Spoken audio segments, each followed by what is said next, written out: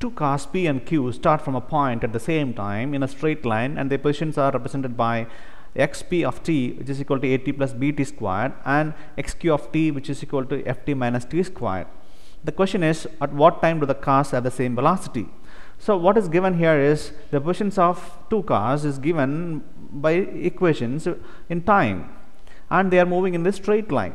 They are moving in the straight line and the positions are given by these two equations right? And these equations represent the position.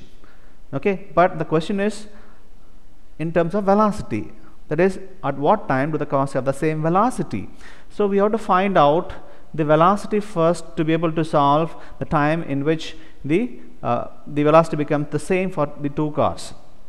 So let us look at the equations that is xp of t which is equal to at plus bt square let's say this is equation number 1 and have got xq of t which is equal to ft minus t square. Let's say this is equation number 2 so these two equations give the position okay? And we know that velocity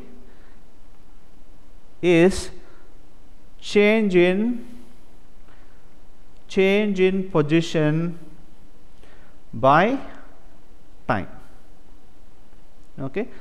That is you can say dx by dt. So we can now differentiate these two equations and get the velocity. So we can say v of p that is velocity of p as a function of time is given as now we can differentiate. If we differentiate this we get a and 2 bt okay? This is equation number 3 now let's differentiate the position uh, equation for car q. That will give the velocity of q with respect to time. That is f minus 2t okay? So now we have got the equation for velocity of cars p and q. Now we have to find out at what time do the cars have the same velocity. So when the cars have same velocity we can equate these two equations that is a plus 2 bt is equal to f minus 2t. So here we have got the terms t here and t here so we can rearrange them and get 2bt plus 2t on one side and f minus a on the other side.